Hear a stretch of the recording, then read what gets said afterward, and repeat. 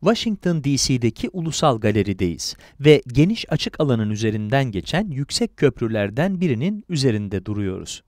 Tam ortada Alberto Giacometti'nin 1960 tarihli yürüyormuş gibi duran Yürüyen Adam 2 heykeli var. Bu figür öne doğru son derece kasıtlı bir adım atıyor. Gövdenin üst kısmı öne eğiliyor. Nereye gittiğini açıkçası merak ediyorum.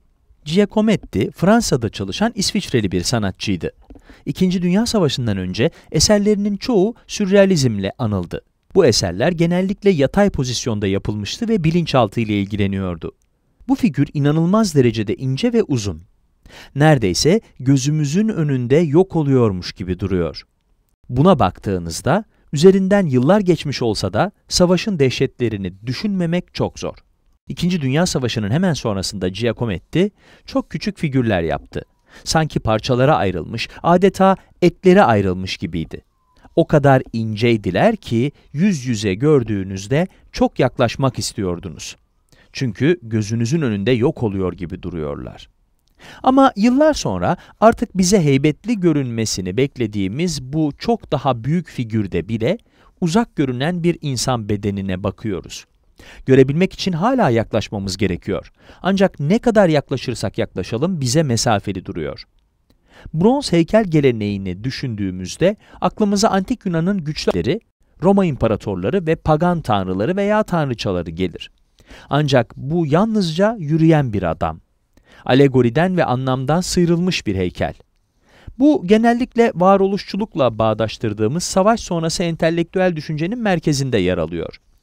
Hatta Fransız yazar ve filozof Sartre, ekranda gördüğünüz sözü, bu sanatçının savaş sonrası dönemin başlarında sergilenen sergilerinden biri için yazdı. Varoluşçuluğa göre ruhsal olan evrende anlam oluşturmaz. İnsan evrende yalnız, izole ve anlamdan sorumludur.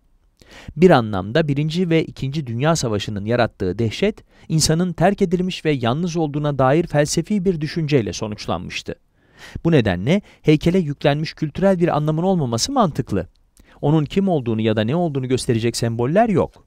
Bu sadece evrende tek başına var olan, yönelimiyle, hareketiyle ve yürüyüşüyle kendisi için anlam yaratan bir insan figürü. Ve burada bu hareket bana kasıtlı ve belirli bir hedefe yönelik yapılıyor gibi geliyor. Ama aynı zamanda adamın ayakları yere tam basmıyor gibi. Bu ironik bir durum çünkü adamın ayakları sanki bronza karışmış. Normalde bronz heykellerin kaidelerin üzerinde olmasına alışığız. Anlama bağlanmış olarak düşünürüz. Örneğin Rodin'in Kale, Kent Soyluları isimli eserini düşünelim. Buradaki figürler yer hizasında olsalar da bunların güçlü figürler olarak yapıldığını söyleyebiliriz. Yani hayatlarını bir amaç uğruna feda eden kahramanlar gibidirler.